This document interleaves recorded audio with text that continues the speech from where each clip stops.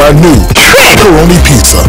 Extra donkey, extra, extra pepperoni right to the edge, and the biggest slices in Papa John's history. But it's bigger than pizza because one dollar from each sale is donated to support The one who kills the ogre.